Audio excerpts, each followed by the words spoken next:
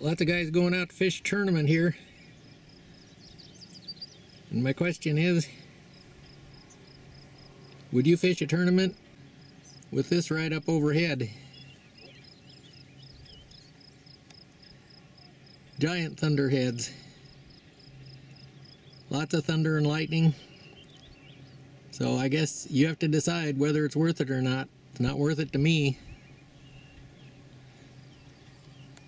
But everybody gets to make their choices. And it's building to the north as well. But there's like 20 boats going here right now. All heading to the north end of the lake, so if it moves in on them, it's a long run back at five miles an hour. So, just saying.